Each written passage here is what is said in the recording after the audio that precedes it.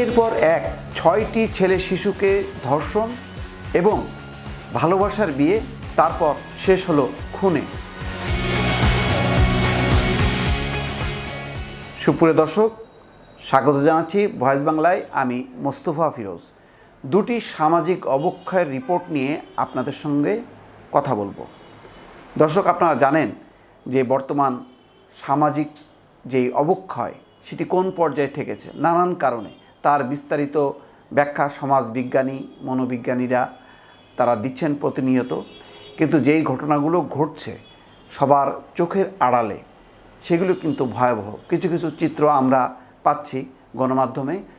সেই গণমাধ্যমের দুটি রিপোর্ট নিয়ে আপনাদের সঙ্গে কথা বলব। প্রথম যে খবরটি, সেটি হয়েছে যশোরের অভয়নগরে। তার খবর হচ্ছে, পাবজি খেলার প্রলোভনে ধর্ষণের ঘটনায় স্বেচ্ছাসেবক লীগ নেতা কারাগারে। খবরটি হচ্ছে এইরকম, যশোরের অভয়নগরে মুঠোফোনে পাবজি খেলার প্রলোভন দেখিয়ে ছয় ছেলে শিশুকে ধর্ষণের অভিযোগে গ্রেপ্তার নিজাম আকুঞ্জিকে যার বয়স তিরিশ, কারাগারে পাঠানো হয়েছে। বুধবার দুপুরে তাকে আদালতে তোলা হলে আদালত তাকে কারাগারে পাঠানোর আদেশ দেন। মঙ্গলবার রাতে মামলার পর উপজেলার বুইকরা গ্রাম থেকে পুলিশ ওই ব্যক্তিকে গ্রেপ্তার করে। তিনি উপজেলার নওয়াপাড়া পৌরসভার পাঁচ নম্বর ওয়ার্ড স্বেচ্ছাসেবক লীগের সাধারণ সম্পাদক। এই বিষয়ে স্বেচ্ছাসেবক লীগের আহ্বায়ক মেহেদি ইসলাম জানিয়েছেন যে বিষয়টি জানার পর নিজাম আকুঞ্জিকে দল থেকে বহিষ্কার করা হয়েছে। নওয়াপাড়া পৌরসভার পাঁচ নম্বর ওয়ার্ড স্বেচ্ছাসেবক লীগের সভাপতি শরীফুল ইসলাম বলেন, নিজাম আকুঞ্জি আমার কমিটির সাধারণ সম্পাদক, তার বিরুদ্ধে শিশুদের ধর্ষণের অভিযোগের বিষয়টি শুনেছি, আমাকে অনেকে ফোনে জানিয়েছেন। যেই ঘটনাটি ঘটেছে, সেই ব্যাপারে বিস্তারিত বর্ণনা রয়েছে রিপোর্টে। সেখানে বলা হয়েছে, ধর্ষণের শিকার এক শিশুর চাচা জানান, মঙ্গলবার দুপুরে তার ভাইয়ের ছেলে বাড়ির পাশের মসজিদ থেকে নামাজ পড়ে ফিরছিল।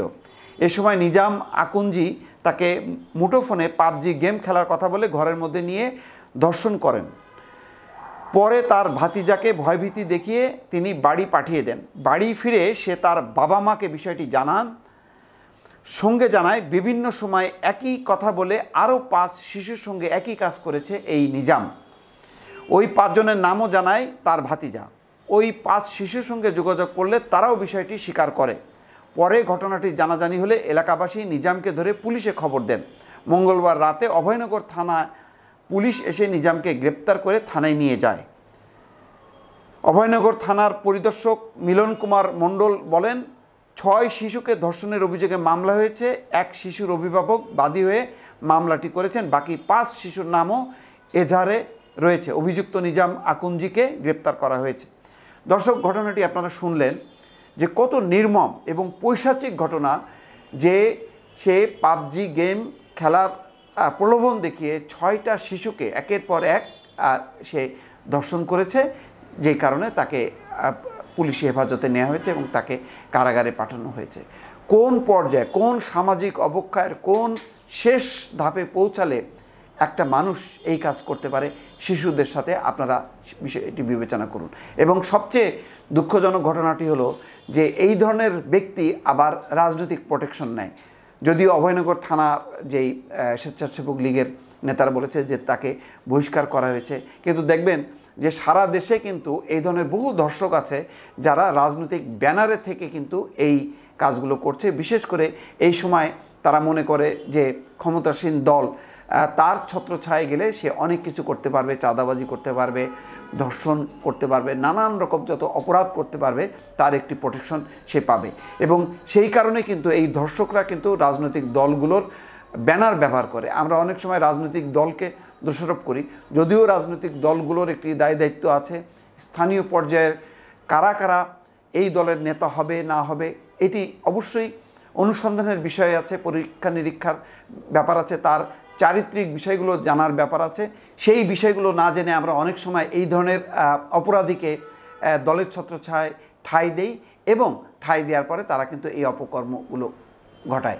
এবং দেখুন যে কতখানি যে অপরাধ করেছে যে ছয়টি ছেলে শিশুকে সে বলাৎকার বা ধর্ষণ করেছে এবং এই ধরনের প্রলোভন ঘটিয়ে। নিশ্চয়ই তদন্ত করলে দেখা যাবে যে এই যে নিজাম হয়তো তার আরও অতীতে রেকর্ড আছে যে এই ধরনের ঘটনা কিন্তু ঘটেছে। ফলে এই ব্যাপারে কিন্তু দুটি বিষয় আমাদের সামনে পরিষ্কার। একটা হলো যে অভিভাবকদের সচেতন থাকা, তার শিশু সন্তানরা বর্তমান যে সামাজিক অবক্ষয়ের যেই পরিস্থিতি, সেই পরিস্থিতিতে কোনোভাবেই তারা নিরাপদ না। ফলে তাদের নিরাপত্তার ব্যাপারে সার্বক্ষণিকভাবে একটি নজরদারি অভিভাবকদের থাকা দরকার। আবার অন্যদিকে এই ধরনের দুষ্ট লোক বা অপরাধী লোক, এই ধরনের খারাপ চরিত্রের লোকরা যাতে কোনোভাবেই রাজনৈতিক দলের ছত্রছায়ায় ঢুকতে না পারে, সেই ব্যাপারে কিন্তু রাজনৈতিক দলগুলোরও দায়িত্ব আছে। আমরা অতীতে কিন্তু বিভিন্ন সময় আমরা দেখি যে এই ধরনের দুষ্ট লোকের, এই ধরনের কুকর্মের কারণে কিন্তু রাজনৈতিক দলগুলো কিন্তু তাদের ভাবমূর্তি নষ্ট হয় এবং রাজনৈতিক দলের যেই তাদের যে নেতা, তাদের বিষয়টাও কিন্তু প্রশ্নবিদ্ধ হয়ে সামনে চলে আসে। এই হলো একটি ঘটনা, আরেকটি ঘটনা আপনাদেরকে শোনাচ্ছি। দ্বিতীয় ঘটনাটি হচ্ছে চট্টগ্রামের সীতাকুণ্ডে। সেখানে দেখা যাচ্ছে যে এক যুবক ভালোবেসে বিয়ে করে একটি মেয়েকে এবং পরিবারের অমতে তারা বিয়ে করার পর তারা ঘর সংসারও করে, যেহেতু পরিবার মেনে নিচ্ছিল না। কিন্তু শেষ পরিণতি কিন্তু খুবই নিষ্ঠুর এবং করুণ বলা যায়। কেননা, ওই প্রেমিকের হাতেই কিন্তু প্রেমিকা খুন হয় এবং কী কারণে খুন হয় আমি রিপোর্টটি আপনাদেরকে পড়ে শোনাচ্ছি। এই রিপোর্টে বলা হয়েছে যে চট্টগ্রামের সীতাকুণ্ড পৌর সদরে প্রেমতলা এলাকায় স্ত্রীকে ছুরিকাঘাতে হত্যার পর অভিধর যার বয়স আঠাশ, নামক এক ব্যক্তি আত্মহত্যার চেষ্টা করেছেন। নিহত নারীর নাম জ্যোতি সূত্রধর, যার বয়স বিশ। তিনি পৌর সদরের প্রেমতলা এলাকার রামচন্দ্র সূত্রধরের মেয়ে। বুধবার রাত পৌনে আটটার দিকে এই ঘটনা ঘটে। স্থানীয় ব্যক্তিরা আহত অভিধরকে মুমূর্ষ অবস্থায় উদ্ধার করে প্রথমে উপজেলা স্বাস্থ্য কমপ্লেক্সে এবং পরে চট্টগ্রাম মেডিকেল কলেজ হাসপাতালে ভর্তি করেন। পুলিশ জ্যোতি সূত্রধরের লাশের সুরথাল প্রতিবেদন তৈরি করেছে। পুলিশ জানিয়েছে যে নিহত জ্যোতি সীতাকুণ্ড ডিগ্রি কলেজের দ্বাদশ শ্রেণির ছাত্রী ছিলেন। আহত অভি চট্টগ্রাম নগরের একটি স্বর্ণের দোকানের ব্যবস্থাপক হিসেবে কর্মরত। তার বাড়ি বাঁশখালী উপজেলায়। দুই বছর আগে জ্যোতি সূত্রধরকে ভালোবেসে বিয়ে করেন অভি। প্রথম দিকে উভয়ের পরিবার এই বিয়ে মেনে নেয়নি। কিন্তু তারা চট্টগ্রাম নগরে একটি বাসা ভাড়া নিয়ে আলাদাভাবে সংসার করছিলেন। সম্প্রতি দুজনের মধ্যে মনোমালিন্য দেখা দিলে জ্যোতি তার বাবার বাড়ি সীতাকুণ্ডে চলে যান। অভি তাকে একাধিকবার ফিরিয়ে নেওয়ার চেষ্টা করেন। জ্যোতির বাবা তাদের জানিয়েছেন, পুলিশকে জানিয়েছেন যে জ্যোতি ও অভি দুজনেই বিয়ে মেনে নেওয়ার জন্য তাদের নিজ নিজ পরিবারকে বোঝানোর চেষ্টা করেন। এক পর্যায়ে উভয়ের পরিবার মেনে নেয়ার বিষয়ে সম্মত হলেও ছেলের পক্ষ থেকে যৌতুক দাবি করা হয়। বিষয়টি মেনে নেয়নি জ্যোতির পরিবার। এতে রাগে ক্ষোভে রাতে জ্যোতিকে ছুরিকাঘাত করে হত্যা করেন অভি। এরপর নিজেও পেটে ছুরিকাঘাতে আত্মহত্যার চেষ্টা করেন। দর্শক, দেখুন কি দুঃখজনক ঘটনা। যে প্রেমের বিয়ে, ভালোবাসার বিয়ে দুই পরিবার মেনে নেয়নি, ফলে তারা বিয়ে করে আলাদা সংসার করছিলেন। কিন্তু নিজেদের মধ্যে মনোমালিন্যে সেই জ্যোতি বাবার বাড়ি ফিরে যায় এবং তাকে যখন নাকি আবার নেয়ার বিষয়ে সম্মত হয়, তখন সেই অভির পরিবার যৌতুক চেয়ে বসে এবং সেই যৌতুক দিতে অস্বীকার করায় বিষয়টি যখন নাকি একটি পারিবারিক বিরোধ তৈরি হয় তখন আহ, অভি জ্যোতিকে আহ, ছুরিকাঘাত করে হত্যা করে এবং পরে সে নিজেও আত্মহত্যার চেষ্টা করে যে এখন চট্টগ্রাম মেডিকেল কলেজে আছে।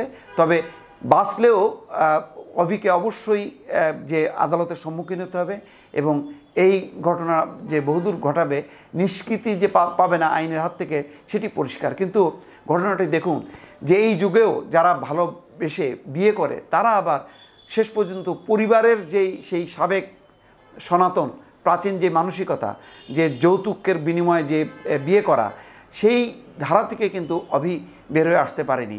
এবং বের হয়ে আসতে পারেনি বলে কিন্তু সে ছুরি চালিয়ে দিল তার নিজের ভালোবাসার স্ত্রীকে।